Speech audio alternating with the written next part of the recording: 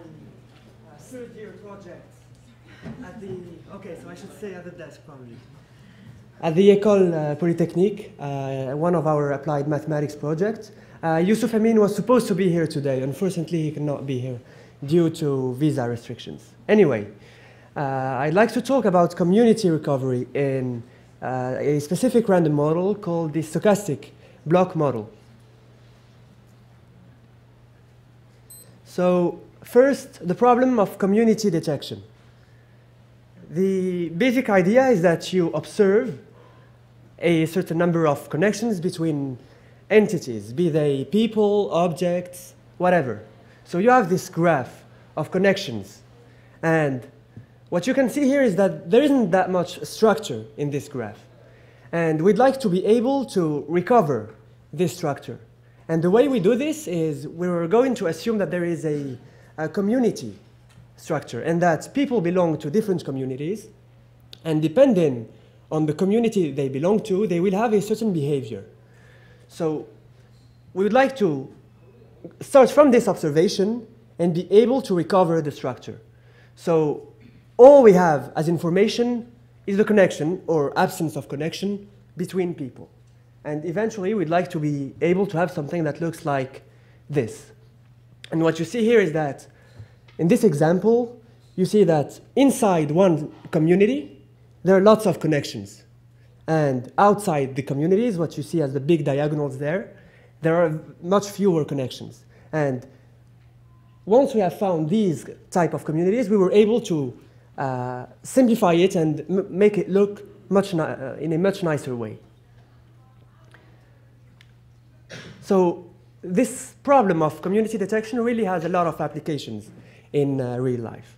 Uh, if you just look at social networks, uh, so here I took the example, it could be uh, Facebook connections, where you have uh, friends and they, they're connected or not. And depending on their nationality or gender or whatever, you can define these, uh, these clusters.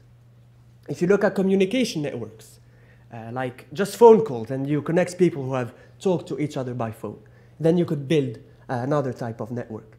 Or if you look at biological networks, uh, this morning we had a talk about RNA uh, target prediction, which is very close to uh, protein to protein interactions.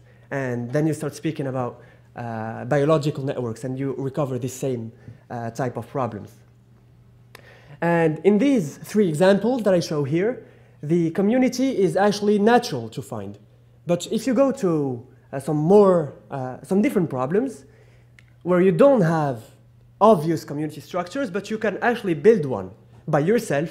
You engineer it to help you solve a specific problem. For instance, you have images, and you'd like to cluster images that look alike. And the way to do this would be to connect images that have some features in common, or that look alike according to some criterion. And in this way, you manage to build a graph, and you can then apply the same uh, community detection uh, procedures to this graph. You also have web page sorting, the PageRank algorithm that Google uses, uh, advertisement problems, and all sorts of other problems that come back to the same issue. And the bottom line is that we'd like to be able to identify groups that behave in the same fashion. So now to the stochastic block model. It's a specific uh, random graph model that relies on communities. And the way it works is it has three parameters, basically. You will go, you're going to need to know the number of people that you have, n. I'm also going to define G, which is the membership matrix. So it's a uh, matrix of size nk, k being the number of different clusters. And Q is going to be the connectivity matrix, which tells me the parameters of connections between two people. So if you have a, a someone in community uh, one and another one in community two, they're going to connect uh, according to a Bernoulli variable of parameter q12. And this variable is going to be independent from all the others. So this is the basic stochastic block model. And just as an illustration, let's say that we start from these uh, nine individuals and they're going to connect according to the community they belong to. So first, let's look at the two communities. So the two communities are going to connect with each other, like so, using the corresponding uh, parameters. And now if you look at the inter-community connections, they're going to happen using the different parameter. So it's all symmetric uh, in my graph. And the basic problem that I want to look at is I see this. This is what I observe. And I'd like to be able to recover the original structure, which is this one, to be able to tell this is the first group and this is the second, up to a, permutation of the groups. Okay, uh, so now that I have defined uh, the problem, to, let's make it more specific. And we'd like to be able to tell when are we able to solve this problem? When are we able to recover exactly the graph? To say all these people belong to this community and, and, and so on for all the communities and not to miss anyone. So we'd like to be able to, to do this with high probability in n.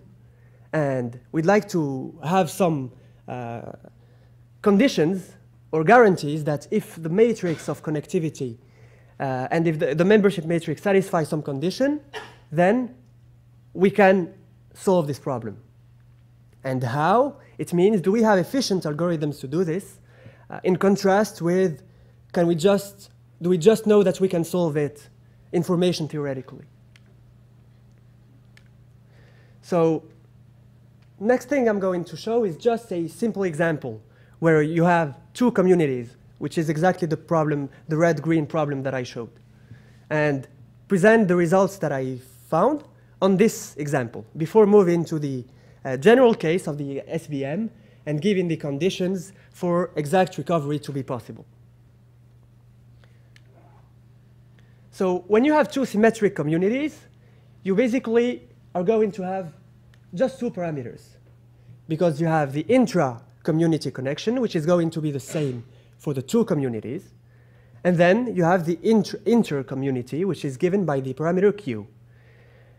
And obviously, you don't know what p and q are. You just assume that there are two communities. And in this example, our condition translates to this one. So here, P and Q are the probabilities, and number of individuals, K is a number of uh, clusters, so it's just going to be 2, and M is going to be N over K, so N over 2. And so I'm showing this condition, and I like to compare it to the information theoretic condition, uh, which tells you when is uh, recovery possible, no matter what algorithm you use, because obviously there are cases where you cannot recover anything. If, if, the, if the connectivities are the same, uh, no matter what community you are in, no matter inside or, or outside the community, then obviously you cannot do much. But you can still hope that if P and Q are distinct enough, you should be able to find, to solve the problem. And basically we have this condition here, and we need at least to be in this regime here. So we have a lower bound that P and Q should be at least of order log n over n to actually have enough connections to, to recover something. And in this case, with these parameters A and B, you have this condition here. And if you do the same and go back to our condition, you can actually check that the two are equivalent up to a constant, which just tells you that our condition is uh, optimal in the case of uh, two symmetric communities. Now to the general case. So the way we started this problem was to look at k-means. Uh, k-means, the most famous clustering algorithm probably, just tells you that you'd like to be able to cluster uh, your data points in order to minimize this criterion over here. And this criterion can be rewritten as a maximization problem, which is almost like a semi-definite program when you look at the set over which you are optimizing, you can see that you have these constraints over the matrices. They are all almost linear, except the last one. So the last one is going to need some work. And we're going to rewrite this uh, b squared equal b to relax it in order to get a convex optimization problem. So the way to do this and to connect it to our problem is to actually define this matrix B, uh, which is to which we are going to apply this SDP. So our SDP transforms the k-means problem into this problem, which, which we defined and we called PECOK as penalized convex optimization of k-means. And now we require that the eigenvalues of B be positive and less than 1. And for this problem, now we have an SDP. And we can actually solve uh, this, this SDP in a relatively efficient manner.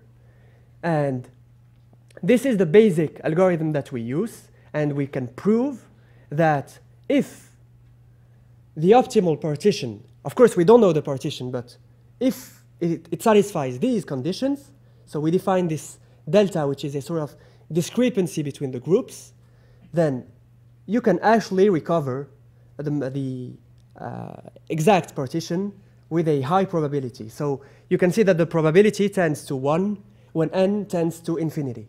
And uh, in this way, we have managed to uh, use this convex relaxation, which has been applied in many different situations, uh, and to apply it to the specific case of stochastic block models, and to prove that, it's, that it works and that it's near optimal, at least in the case of two symmetric communities.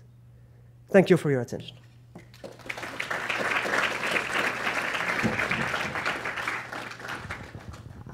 Thank you, Imahens.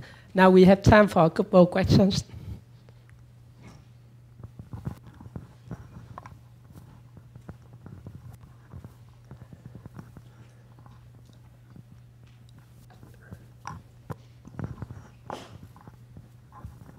Hi, uh, thank you. Um, does your work uh, covers um, overlapping communities? Like you mean like when an individual can be member of several communities? Yeah. Uh, actually, this is a problem that we haven't uh, looked at, but I would assume that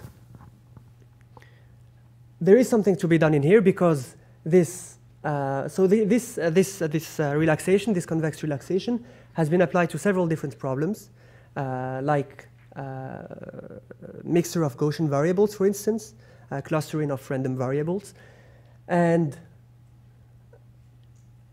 I would assume that if, we, if you manage to rewrite the, the problem in a way that that, that, that actually allows you to, to rewrite, to, to use this uh, B, then yes, it could be used. And also to other vari variants of the SBM, uh, where the connections between the people don't only depend on their community, but on something else. Then you can consider these more refined models and try to do something. That would be a generalization, yes.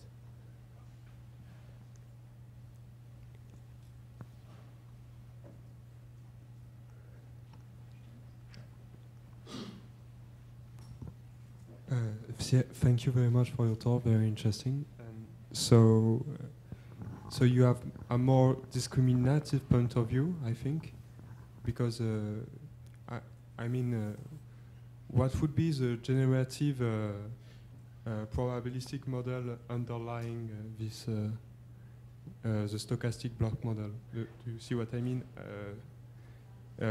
it's what would be the the likelihood the oh. connection between uh, your criteria and the likelihood of uh, your observation. I see. Uh, so it's true, I haven't defined formally what an SBM is.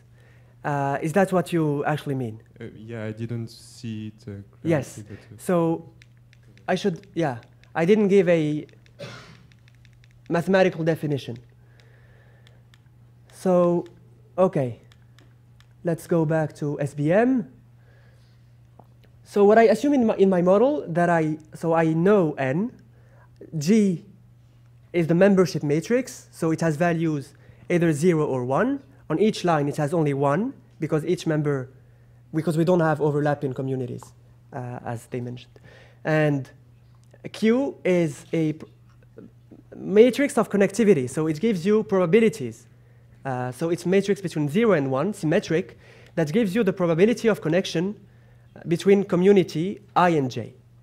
So what you assume is that first, the connections are independent, and second, that if you take one individual from community, let's say community one, it's, it's, it, it already be- belongs to this community, it's not random at this stage. So we, we already have J, uh, and G is not random. So you have this individual here, you have an individual in another community, they're going to connect, so you're going to have, you're going to build your uh, connectivity matrix, which is also zero or one, according to a Bernoulli variable of parameter q, and the indices are the communities to which the two individuals belong. So q is symmetric because uh, we have a undirected graph. Does that uh, make things clear? Yes. From this, you could actually derive the likelihood function I didn't. because you have all the in- info information that you need.